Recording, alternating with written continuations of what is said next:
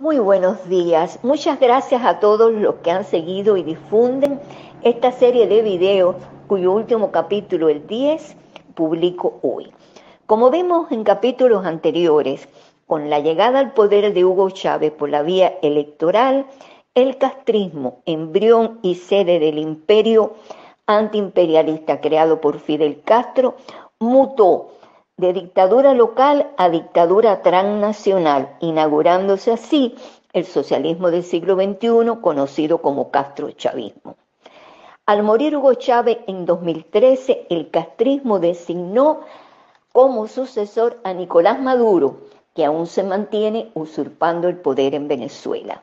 En 2013, Lula da Silva engrosa las filas del castrochavismo al ser elegido presidente de Brasil el proceso continuó con la elección de Dilma Rousseff en 2011 y se interrumpió cuando ella fue sometida a juicio político en 2015. Evo Morales y su vicepresidente Álvaro García Linera, guerrillero ideológico muy inteligente formado en Cuba, capturan el poder en 2006 en Bolivia y lo detentan hasta la crisis generada por el fraude electoral en 2019 después de una pausa de un año, periodo en el que el castrismo aplica su amplia experiencia en la manipulación de procesos electorales, el castrochavismo se apoderó nuevamente de Bolivia con un presidente designado, Luis Arce. Daniel Ortega, fundador del Foro de Sao Paulo, llegó al poder en la presidencia de Nicaragua en 2007, posición que aún usurpa junto a su esposa y vicepresidenta Rosario Murillo. En 2007, Rafael Correa es elegido presidente de Ecuador, cargo que ocupó durante 10 años y 4 meses. El castrochavismo confiaba en que lograría continuidad en Ecuador con la elección de Lenin Moreno en 2017, pero este decidió separarse de las políticas corruptas y dictatoriales de Rafael Correa. Otros gobiernos de países latinoamericanos han estado adscritos al castrochavismo. Aunque no han tenido todas las características propias de las dictaduras castrochavistas, las han apoyado, las han defendido y han votado junto a este bloque en las organizaciones mundiales y regionales. Menciono entre estos gobiernos los dos periodos presidenciales de Michelle Bachelet en Chile, el de Fernando Lugo en Paraguay desde 2008 hasta su destitución en 2012, los gobiernos del Frente Amplio en Uruguay con José Mujica y Tabaré Vázquez de 2005 a 2020, el de Cristina Fernández en Argentina de 2007 a 2015, el del Frente Farabundo Martí en El Salvador con Salvador Sánchez Serén y Mauricio Funes de 2009 a 2019. Los países del Caribe también están controlados por el castrochavismo. Mediante el programa llamado Petrocaribe, la dictadura castrista se ocupa de entregar petróleo venezolano a 15 países caribeños, los que agradecen el obsequio votando junto al castrochavismo en las organizaciones internacionales. Mención especial merece Ralph González, primer ministro de San Vicente y las Granadinas desde el año 2001, quien participa en oscuros negocios con la dictadura castro-chavista. ¿Y cuál es la situación en la actualidad? Pues actualmente el imperio castrochavista con Estado Mayor multinacional en Cuba cuenta, además de la dictadura castrista, con tres nefastas dictaduras delincuenciales electoralistas, la de Nicolás Maduro en Venezuela, la de Evo Morales y Luis Arce en Bolivia y la de Daniel Ortega y Rosario Murillo, su esposa, en Nicaragua. Además, el castrochavismo avanza con rapidez en su intento de instalarse en Argentina, Colombia, Chile y Paraguay.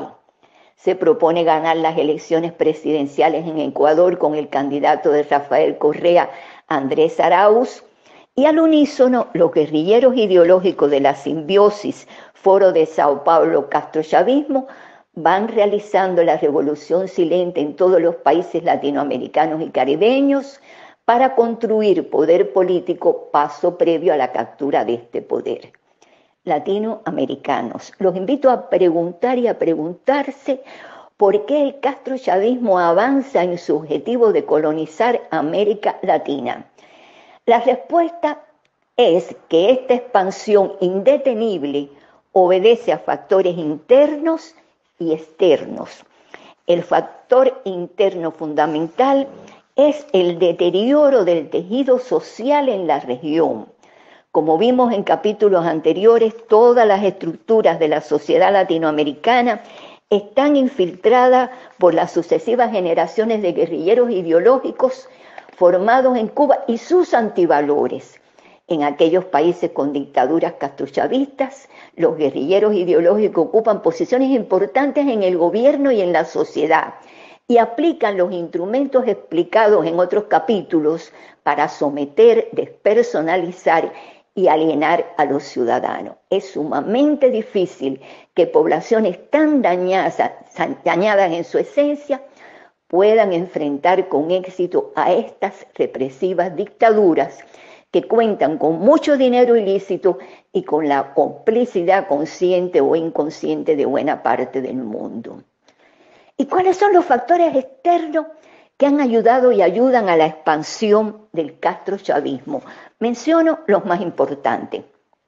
Uno, los servicios de inteligencia del castrismo usan todo su poder y experiencia para sumar apoyo internacional al castrochavismo y desacreditar y silenciar a los que denunciamos a estas dictaduras. Dos, el eficaz proselitismo internacional castrista mediante la compra de conciencias y voluntades y su exitoso lobby diplomático logran que tanto la opinión pública mundial como las organizaciones regionales y mundiales se proyecten a favor del castrochavismo o guarden silencio frente a sus horrores. Tres, es sumamente preocupante el protagonismo del castrismo y por tanto del castrochavismo en la política internacional y en temas de política interna en países con gobiernos democráticos de la región. Tanto el llamado Grupo de Lima como presidentes y funcionarios de alto nivel de gobiernos democráticos critican a Maduro, desconocen la legitimidad de su gobierno, lo que es perfecto, pero al mismo tiempo avalan a la dictadura castrista que son los jefes de Maduro. ¿Y por qué ocurre esto? Son varias las razones. Porque temen a las extorsiones del castrismo, a sus amenazas explícitas o subliminales de desestabilizar aquellos países y de ejecutar moralmente a los gobiernos que se atreven a criticar a esta sexagenaria dictadura porque tienen intereses económicos en Cuba mediante inversiones asociadas a la familia Castro o están en proceso de hacerla. Además de estos intereses económicos sin ética, no descartemos otros oscuros intereses. Y tal vez porque algunos de estos presidentes democráticos han estado o están bajo la influencia de los guerrilleros ideológicos infiltrados en toda la sociedad con sus antivalores, fundamentalmente con el resentimiento.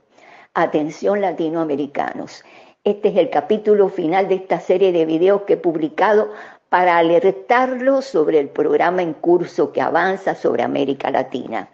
No se dejen confundir por los políticos, los medios de comunicación y los analistas que niegan la existencia del socialismo del siglo XXI o castrochavismo. Es importante que analicen por qué estos referentes confunden, niegan y hasta ocultan esta evidente realidad que a mí me consta. Resulta extraño y peligroso que los gobiernos democráticos del hemisferio no comprendan la alta peligrosidad que este bloque dictatorial en el poder representa para sus países estas dictaduras no son un problema solo para quienes las padecen, son una amenaza global.